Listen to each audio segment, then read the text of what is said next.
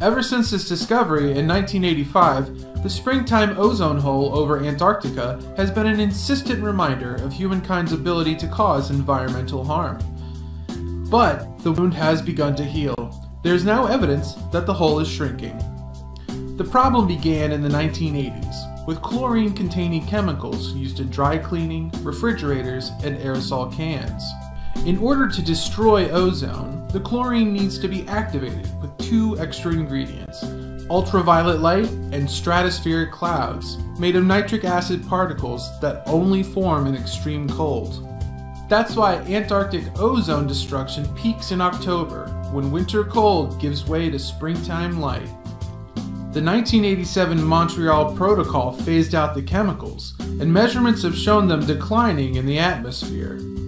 Now researchers have found evidence of the intended consequence shrinkage in the ozone hole. Using satellites, ground based instruments, and ozone measuring weather balloons, hole in September shrunk by 4 million square kilometers, an area bigger than India. An extra challenge was showing that the shrinkage was due to the drop in chemicals. Using a 3D atmospheric model, the researchers separated out the effects of weather and volcanic emissions, which can also destroy ozone. The model helped explain anomalously large ozone holes like the one in October 2015, which was largely due to the eruption earlier that year of the Calbuco volcano in southern Chile.